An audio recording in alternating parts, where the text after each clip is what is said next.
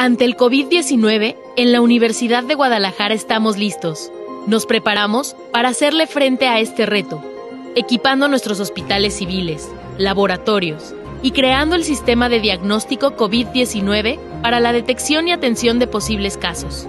Hoy estamos listos para darlo todo, trabajando unidos para proteger la salud de las y los jaliscienses. Universidad de Guadalajara.